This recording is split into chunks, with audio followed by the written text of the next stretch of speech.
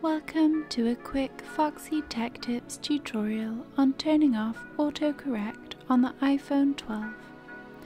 If you find this tutorial helpful, please consider subscribing to my channel and liking the video.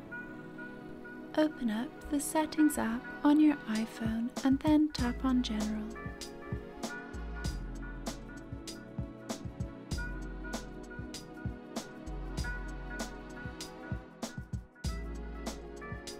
In the General settings, tap on Keyboard.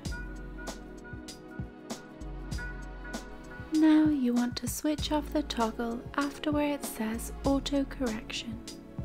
Simply tap the toggle to switch it off. When off, it will go from green to grey. Your iPhone will no longer autocorrect your spelling. And that draws an end to this short tutorial.